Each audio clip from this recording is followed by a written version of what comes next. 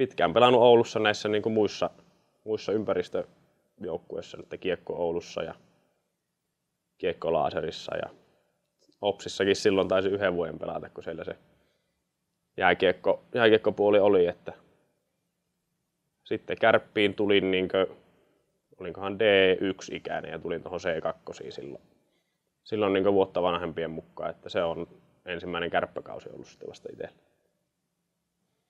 Kilpailuhan täällä oli sitten taas kovempaa ja se, että sitä niin pelaajia oli sitten paljon enemmän niin oikeasti, jotka, jotka oli hyviä ja sillä että se varmasti oli siinä, siinä iässä ihan oikea aika tulla tänne, että pääsi haastaa steittiä enemmän ja, ja sitä kautta kehittymään. Että tietenkin se oli helppo tulla, että paljon oli tuttuja kavereita jo valmiiksi ja sillä ei tarvinnut miettiä, miettiä yhtään, että tiesi, tiesi ihan tasan tarkkaan, että joukkueeseen pääsee hyvin sisään ja muuta, että kun on samassa koulussa ja muualla ollut, ollut sitten kavereiden kanssa, kenen kanssa tuli samaan joukkueeseen.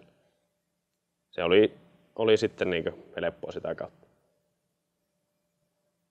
No, en osaa sanoa, että mistä se on niin ihan alun perin. Mä veikkaisin, että se on kuitenkin, meillä on kuitenkin Kimmo pelannut aika pitkän uran setä tuossa niin liikassa ja Ruotsissa ja näin, että se on ja isäkin pelannut, mutta ei mitenkään hirmu korkealla tasolla ole, ole sitä omaa uraa, uraa pelannut, mutta kyllä se on varmaan tullut sieltä niin meillä suvussa ollut vähän tuo jääkiekko. Jääkiekko semmoinen laji, mikä on ollut niin kiinnostanut ja näin. Ja sitten itse tykästynyt siihen, kun joskus on, on luistelukouluun ja ensimmäisiin harjoituksiin mennyt, niin sitten on sille tielle jääty. Kyllä mä muistan paljonkin, ollaan oltu, ollaan oltu katsomassa Kimon pelejä ja silloin toki siinä on ollut jätkiä jo samassa joukkueessa, kenen kanssa nyt itse saa tuossa tossa pelata, että se on mun mielestä sillä lailla hienoa, että silloin katsonut niitä, niitä aina siinä ylöspäin ja sillä että itse haluaisi olla joskus tuolla ja nyt saa sitten reenessä, reenessä ihan tasapäisesti niiden kanssa tuossa vääntää. Se on mun mielestä ihan, ihan siisti homma. No kyllähän jääkiekko on meillä semmoinen, siitä tulee puhuttua paljon niin perheessä muutenkin, että kun ollaan niin siellä niin paljon, paljon se jääkiekko on siinä niin puheenaiheena, mutta ehkä niin meillä Samun kanssa enemmän semmoista niin ohi se, että vähän käyvää, että miten on pelit mennyt ja, ja muuta, mutta ehkä enemmän keskityttää sitten kuitenkin muihin asioihin, että niitä kerkiää hallilla miettiä ihan tarpeeksi molemmat varmaan omissa joukkueissaan niitä pelijuttuja, niin se on ihan mukava jostakin muusta puhua välillä sitten tasapainoksi.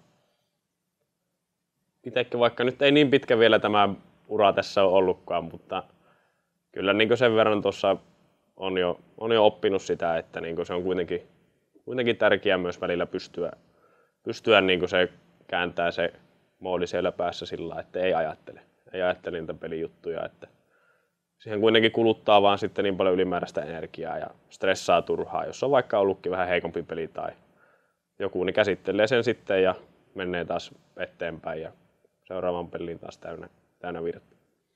Ehkä semmoinen henkilökohtaisella puolella on niin kuin tällä kaudella ollut se isoin tavoite, että pystyisi, pystyisi vakiinnuttamaan tuossa tota pelipaikkaa ja siinä on mun mielestä niin ihan, ihan hyvin onnistunut, onnistunut itse, mutta tuleville vuosille totta kai sitten taas sitä pystyy kasvattaa sitä vastuuta ja olla niin oikeasti, oikeasti semmoinen tärkeä ja johtava pelaaja jossakin kohtaa tässä kärpissä. Että siinä on varmaan itselle semmoinen isoin tavoite.